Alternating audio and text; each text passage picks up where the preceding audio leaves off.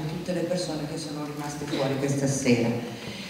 Prima di salutarvi e augurarvi un buon 8 marzo, vorremmo chiedere tutti insieme a chi si sente di impegnarsi insieme a noi per contrastare la violenza, ognuno nel proprio ambito, nel proprio partire dal proprio ruolo, di alzare le mani e di batterle forte. Speriamo che siano tante, anche se non proprio tutte.